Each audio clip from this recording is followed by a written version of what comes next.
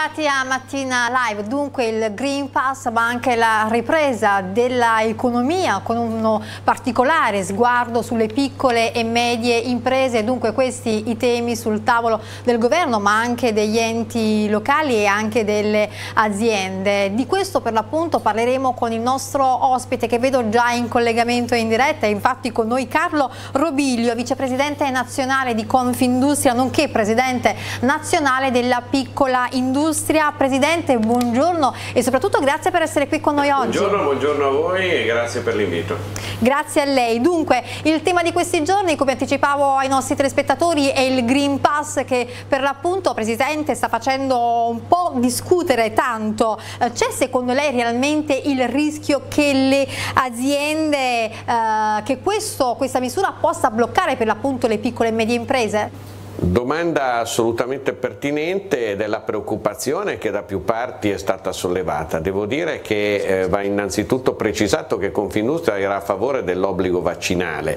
Noi l'abbiamo chiesto a gran voce perché riteniamo che questo potesse essere il percorso eh, per appunto aiutare soprattutto la ripresa economica e aiutare le nostre imprese a correre e a traguardare uno sviluppo di, di produzione che sembra oggi possibile appunto per le nostre imprese. Poi passato ovviamente il tema del Green Pass che abbiamo condiviso e su questo noi siamo assolutamente fermi, decisi e schierati. Non riteniamo che saranno particolari problemi per le nostre imprese, evidentemente tutte le nostre territoriali sono a disposizione degli associati per qualunque tipo di domanda e di supporto e quindi riteniamo che ci potranno essere iniziali magari preoccupazioni o problemi ma certamente l'imprenditore italiano saprà rispondere al meglio a queste esigenze.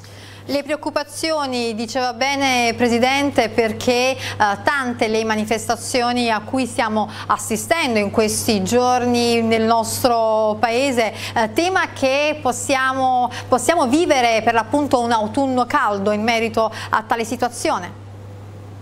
Direi di no, temo ovviamente la mancanza di buonsenso da parte di alcune, alcuni personaggi, ahimè anche magari del mondo politico, però non credo che ci sia questa preoccupazione. Sappiamo che c'è un dibattito, sappiamo che ci sono persone che non condividono l'obbligo del Green Pass, però io credo che tutti insieme, e tutti insieme intendo come società italiana, dobbiamo guardare appunto ai prossimi mesi con grande fiducia, speranza e soprattutto in una logica costruttiva e di produzione perché solamente facendo crescere la capacità delle nostre imprese di produrre e di esportare possiamo aiutare il nostro paese. Quindi io credo davvero che tutti insieme possiamo lavorare per eh, appunto fare il meglio per l'Italia. Fare il meglio dell'Italia, Presidente, lei per l'appunto ha parlato anche del mondo politico e mi addentro anche in questa domanda che voglio formulare perché crede che chi come Salvini e Grillo eh, a proposito dei tamponi gratuiti debbano farsene carico le aziende oppure chi? Mi è facile tornare un po' a rispondere come ho fatto per la prima domanda, cioè noi si immagini eravamo a favore dei, del vaccino obbligatorio, quindi riteniamo che tutti coloro che hanno deciso di non vaccinarsi in qualche modo debbano assumersene la responsabilità, la responsabilità vuole anche dire evidentemente pagarsi il tampone, quindi non vedo quale obbligo dovrebbe stare in capo a un datore di lavoro il quale appunto ha eh, tra mille sacrifici e difficoltà riaperto doverosamente e volontariamente anche la propria azienda per poter fare al meglio il suo lavoro, ehm, è chiaro che oggi esiste quindi un obbligo di Green Pass e l'obbligo è in capo a tutti coloro che si sono o meno vaccinati. Senta Presidente, non solo la pandemia ma anche molte volte le calamità colpiscono le piccole e medie imprese e a proposito vogliamo ricordare al nostro pubblico che ci segue da casa che lo scorso 15-14 ottobre è stato siglato a Benevento presso il pastificio Rummo un eh, rinnovo del protocollo tra Confindustria e Protezione Civile per l'appunto a sostegno di tutte le imprese che sono state colpite dalla calamita, da alcune calamità naturali o per l'appunto dalla pandemia. Vogliamo ecco, essere un po' più precisi e dettagliati, che cosa prevede tale documento? Presso il pastificio Rummo è stato un momento davvero molto importante questo protocollo firmato con la protezione civile perché in qualche modo è il rinnovo di un impegno, un impegno che vede le imprese come attori sociali eh, aver compreso al meglio il proprio ruolo che non è solo il ruolo della produzione, è anche il ruolo appunto della presenza sui territori nella difesa dei territori stessi. Questo accordo ha come base gli aspetti della cosiddetta prevenzione, cioè la cultura della prevenzione. Noi vogliamo come Confindustria industria, devo dire grazie alla partnership con la protezione civile, vogliamo sviluppare al meglio una cultura della prevenzione, una cultura appunto del, che porterà gli imprenditori a evitare appunto di esporsi eh, in maniera inconsapevole a rischi che ci sono nel nostro paese perché sappiamo tutti come l'Italia sia un paese fragile ed esposto appunto a rischi ambientali e quindi riteniamo sia opportuno rendere l'imprenditore consapevole di questi rischi e prepararsi al meglio per rendere la propria impresa e la propria attività resiliente. Presidente, ha utilizzato un termine adatto, fragile, ecco l'Italia è un paese fragile ma per l'appunto le aziende che ve ne fanno parte sono fragili, soprattutto le piccole eh, e medie imprese e quindi c'è evidentemente la necessità di sostenere, di supportare, di aiutare le imprese e a contempo anche il territorio, no? soprattutto se parliamo dei più piccoli o addirittura di chi opera un po' fuori no? dal centro eh, e quindi per l'appunto più fragili. Come aiutare quindi in questo modo quelle piccole imprese che hanno hanno subito l'emergenza pandemica? Questo è sicuramente eh, uno degli impegni di Confindustria che si è estrinsecato in questi anni anche tramite eh, il programma gestione emergenze, cioè noi cerchiamo di stare vicini all'imprenditore eh, nei momenti sia, come abbiamo detto, che definiamo di cultura d'impresa, cioè di prendere consapevolezza dei rischi per rispondere in un momento esante, quindi prepararsi a qualsiasi tipo di calamità, ma soprattutto vogliamo stare vicini agli imprenditori che sono stati colpiti da questi appunto appunto effetti negativi e questo lo facciamo attraverso innanzitutto un programma che è il programma gestione emergenze che ci ha visto in campo in questi anni in diversi momenti difficili per il nostro paese e supportiamo imprese e territori in tutte quelle che sono le necessità di ogni tipologia per portare ciò che serve ciò dove serve quando serve soprattutto nei territori colpiti appunto da eventi calamitosi. Senta Presidente mi permetta anche quest'altra domanda perché ecco, facendo proprio un'analisi no, del nostro tesoro tessuto economico e quindi delle nostre medio,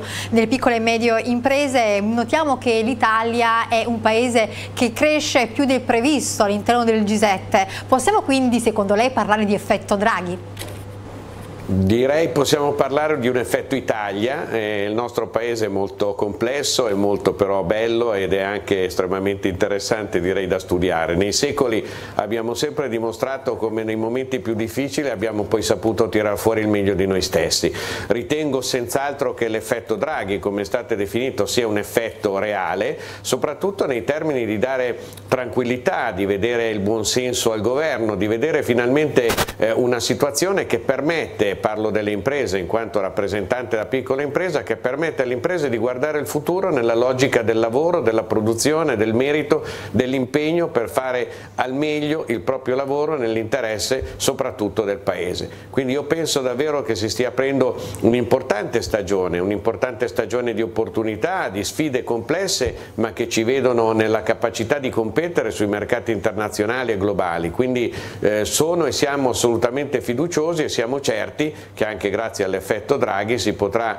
eh, moltiplicare e far crescere in maniera esponenziale l'effetto Italia. Eh, far crescere l'effetto Italia all'interno dell'Europa, Presidente, eh, le chiedo a questo punto che ruolo rivestono le piccole imprese perché il nostro tessuto economico italiano si, a, si sostiene e si basa soprattutto sulle piccole imprese, quindi le stesse che ruolo hanno eh, e che apporto danno al sistema produttivo? Le piccole economico? imprese sono la vera spina dorsale del paese. È solo tramite le piccole imprese che possiamo pensare di avere uno sviluppo, di avere una capacità appunto di portare il paese fuori dalle sacche della difficile situazione che ha connotato gli ultimi anni. Quindi siamo certi che grazie all'impresa, grazie alla piccola, alla media impresa che si possono creare quelle precondizioni necessarie al riscatto dell'Italia. Siamo anche altresì certi che in questa logica le filiere, le grandi filiere che sono quelle che poi che creano il valore saranno in grado di far sì che anche la piccola impresa possa trasmettere in un'ottica diciamo, di open innovation, capacità di crescita alla grande, ma soprattutto la grande impresa possa trasmettere alle piccole che fanno parte della sua filiera competenze, valori, conoscenze, processi per far sì che le piccole imprese crescano sempre di più. Facendo crescere le piccole imprese potremo aumentare la competitività del paese, soprattutto potremo aumentare l'export e siamo certi che queste leve faranno sì che appunto creeranno maggiore valore per il paese stesso. Beh, una sfida ambiziosa per il nostro bel paese, intanto io ringrazio Carlo Lobilio, vicepresidente nazionale di Confindustria, nonché presidente nazionale della piccola industria per essere stato qui con noi, grazie di cuore, io l'aspetto presto nei nostri studi televisivi di Mattina Live. Grazie mille, grazie a voi, sarà un piacere venire presso i vostri studi, quindi come suol dirsi alla prossima e grazie ancora. Grazie per essere stati con noi con Mattina Live.